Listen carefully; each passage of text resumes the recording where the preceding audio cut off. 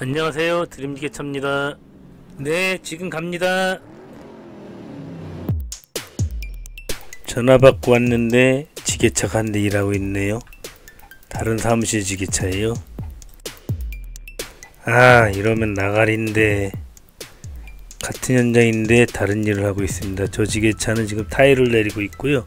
저는 판넬을 내리러 왔어요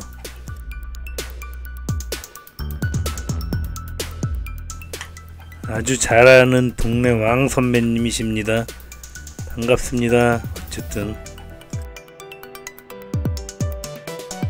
지금 왜 한 현장에서 지게차 두 대가 일을 하고 있을까요?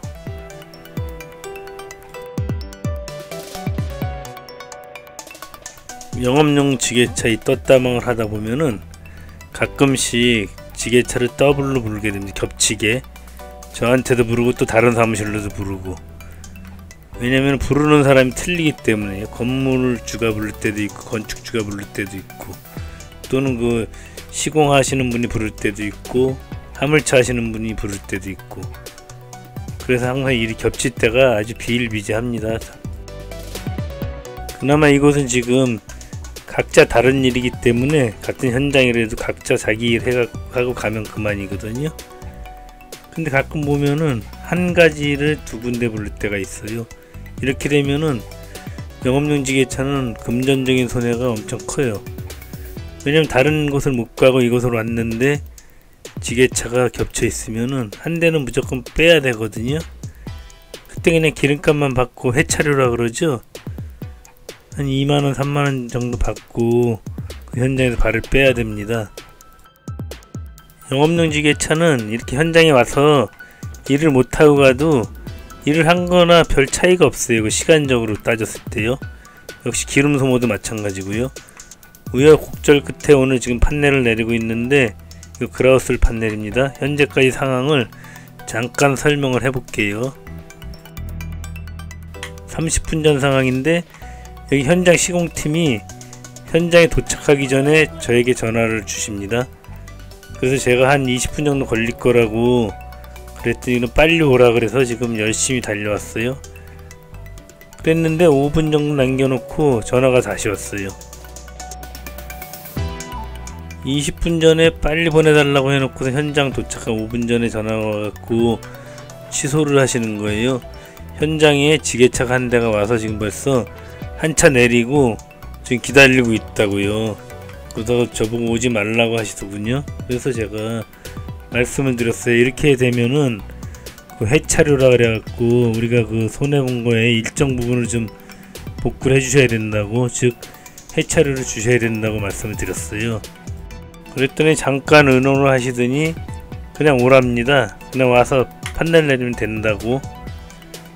그래서 또 일단 무작정 되고 왔어요. 왔더니 다른 사무실 지게차가 타일을 내리고 있는 거였어요. 다행히 그 사무실 지게차는 오늘 타일을 내리러 온 지게차였는데 이 판넬이 왔기 때문에 두 개 다 내릴 뻔했죠. 물론 현장 시공팀이 저에게 전화를 해서 지게차 요청을 하지 않았다면은 그 다른 사무실 지게차가 이것까지 내렸겠죠. 근데 이미 저는 거의 현장 도착 직전이기 때문에 여기서 돌아갈 수가 없는 거잖아요, 그냥. 그래서 해차료를 말씀드렸고 그분은 그럼 어차피 왔으니까 이 일을 하라 그래서 다시 일을 하게 된 겁니다. 어차피 다른 사무실 차는 타일 일을 하러 온 거고 저는 이 판넬 일을 하러 왔는데 그 시간이 그냥 겹쳤던 거죠. 그나마 이런 일은 다행이에요. 문제는 같은 일인데 다 다른 사람이 지게차를 부를 때가 있어요. 요 현장 시공팀에서 지게차를 부를 때도 있고 또 건축주가 지게차를 부를 때도 있고 또 경우에 따라서는 화물차에서 지게차를 부를 때도 있어요. 그때 지게차가 겹치게 되는 거죠. 같은 한 가지 일을 두고 두 군데 지게차가 와갖고 따블이 돼버리는 거예요. 이럴 경우 이제 지역에 따라 조금씩 틀린데 그 지게차끼리 굉장히 경쟁이 심한 곳이 있어요. 그런 곳에서는 지게차끼리 싸움이 나는 거예요. 네가 먼저 내리 내가 먼저 내리니 그러고 서로 못, 못 내리게 하죠. 그럴 경우 이제 그런 경우가 예전에 이쪽도 그런 적이 있었어요. 근데 이제 어느 순간부터 이제 그렇게 해서는 안 되겠다 이랬고 상생을 하기 시작해갖고선 이쪽에서 이제 현장 갔는데 누가 다른 지게차가 일을 하고 있다 하면은 이제 나중에 간 지게차나 둘 중에 한 지게차가 서로 얘기를 양보를 해갖고 회차료만 받고 지게차 한 대를 뺍니다. 물론 그게 법적으로 정해진 건 아니지만 여기서는 둘 중에 한 대가 무조건 양보를 해요. 그리고 분명하게 말씀드린데 그 회차를 받게 돼 있어요. 왜냐면은 그 지게차라는 거는 저희 모음 무게가 벌써 8톤 정도 나가지 않습니까? 그럼 빈 차로 가나 가서 일을 하고 오나 똑같아요. 기름 소모는 조금 덜 들 뿐이죠. 그리고 다른 데 못 가는 그 손해까지 생각하면은 그냥 해차료만 받고 오면은 굉장히 손해가 큰 거예요. 맨날 지게차 요금이 기본이 6만 원이잖아요. 보통 해차료는 한 2만 원에서 3만 원 정도 받고 있어요. 결국에는 70%에서 50% 정도 손해란 얘기죠. 그리고 이제 지게차를 더블로 부르신 분도 마찬가지예요. 그분들도 역시 쓸데없이 회차료를 주게 됐잖아요. 그 신중히 불렀으면은 그냥 간단하게 아무 일 없이 끝났고 지게차 한 대분만 지불하면 되는데 전화 한번 잘못한 죄로 그 회차를 주시게 되는 거잖아요. 그러면은 나는 진짜 회차를 아까워서 못 주겠다. 그럼 어떻게 될까요? 두 대가 다 지게차 일을 안 해요, 여기는. 그렇게 이제 상생의 힘이 크다는 거죠. 서로 지게차가 서로 불이익을 보는 걸 못 본다는 얘기죠. 그렇지 않습니까? 전화 한 번 잘못해갖고선 그냥 미안하다 그러고 끝나지만 우리 영업용 지게차는 미안하다고 해도 끝날 일이 아니잖아요. 우리는 이제 시간이 돈이고 움직이는 게 돈인데 가서 일을 못하고 되돌아오게 됐을 때 보통 30분에서 40분 이렇게 손해를 보게 돼 있어요. 그럼 그 손해를 누가 복구를 해주겠습니까? 영업용 지게차인데 저희가 자가용 지게차도 아니고 어쩔 수 없이 그 회차를 받을 수밖에 없는데 만약 답을 시켰는데 저 지게차에게 양보하는 지게차에게 회차료를 안 주면은 그 나머지 한 대는 그 일을 안 합니다. 둘 다 일을 안 해요. 지게차가. 뭐 어떻게 해야 돼요? 회차료라도 주시고 지게차를 빼는 수밖에 없어요. 그래서 지게차도 그래도 중장비 아닙니까?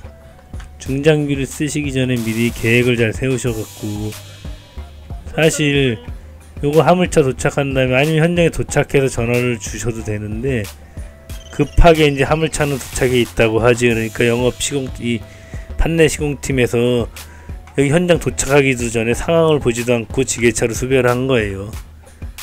물론 그런 상황이라면 이렇게 급한 상황일 줄 알았으면 그 전날 미리 예약을 해 놓으셔도 되는데 뭐 갑자기 어떻게 된 상황인지는 모르겠어요 저는요. 근데 이제 급하게 저한테 전화가 온 거죠. 화물차가 도착해 있으니까 빨리 지게차 보내달라고.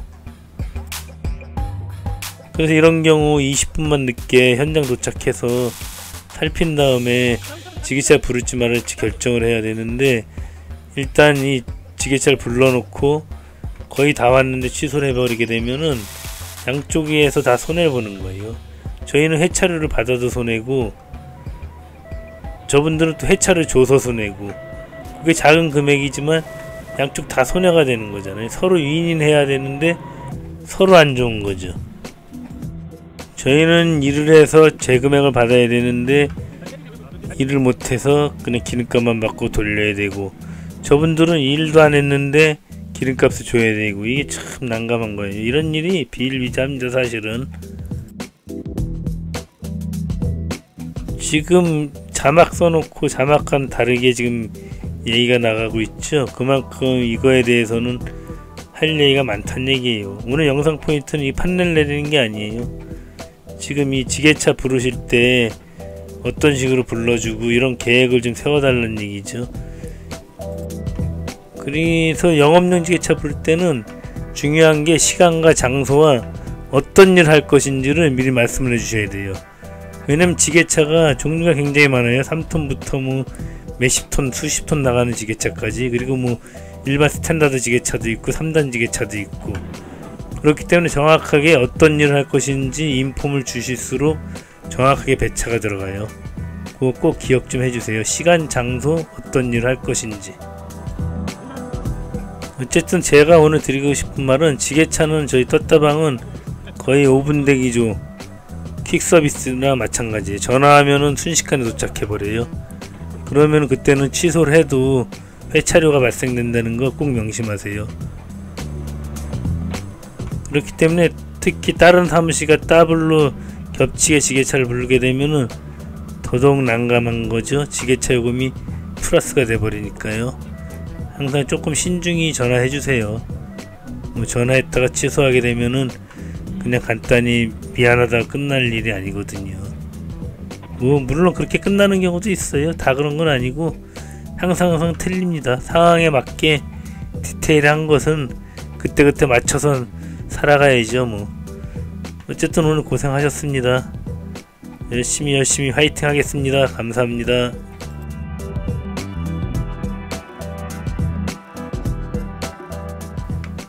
어쨌든 뭐 오늘 일할 수 있음을 감사히 생각합니다. 고맙습니다.